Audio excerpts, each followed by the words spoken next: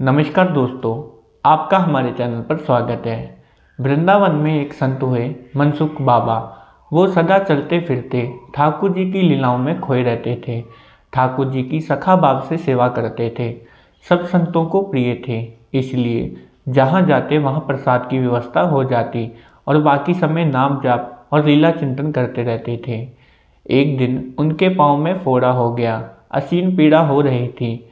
बहुत उपचार के बाद भी कोई आराम नहीं मिला तो एक व्यक्ति ने उस फोड़े का नमूना लेके आगरा के किसी अच्छे अस्पताल में भेज दिया।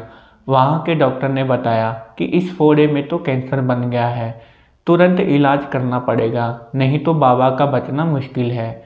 जैसे ही ये बात बाबा को पता चली कि उनको आगरा लेके जा रहे हैं तो बाबा रोने लगे और बोले, हमको कहीं नहीं जानो हम ब्रज से बाहर नहीं जाके मरना चाहते, हमें यहीं छोड़ दो, अपने यार के पास। हम जिएँगे तो अपने यार के पास और मरेंगे तो अपनी यार की गोद में। हमें नहीं करवानो इलाज। और बाबा नहीं गए इलाज करवाने। बाबा चले गए बरसाने।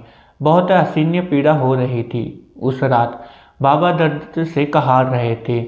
इतने में क्या देखते हैं? वशुभान दलारी, श्री किशोरी जी अपनी अस्त सखियों के साथ आ रही हैं। और बाबा जी के समीप आके ललिता सखी से बोली, अरे ओ ललिते, ये तो मनसुखा बाबा है ना? तो ललिता जी बोली हाँ श्री जी, ये तो मनसुखा बाबा है। और डॉक्टर ने बताया कि इनको कैंसर है। देखो कितना दर्द से कहा रहे हैं। परम दयालु, करुणामयी सरकार, श्री लाडली जी से उनका दर्द सहा नहीं गया। और वो बोली, ललिता, बाबा को कोई कैंसर नहीं है, ये तो एकदम स्वच्छ है। जब बाबा इस लीला से बाहर आए तो उन्होंने क्या देखा कि उनका दर्द एकदम समाप्त हो गया है और जांग पर जहाँ तक कि किसी फोड़े का निशान भी नहीं रहा। देखो कैसी करनामी सरकार, श्री लाडली जी है हमारी। तो दोस्तों, आज की हमारी ये वीडियो यहीं तक। अगर आपको हमारी ये वीडियो अच्छी लगी हो तो इसे लाइक करें और अपने दोस्तों के साथ ज़रूर शेयर करें।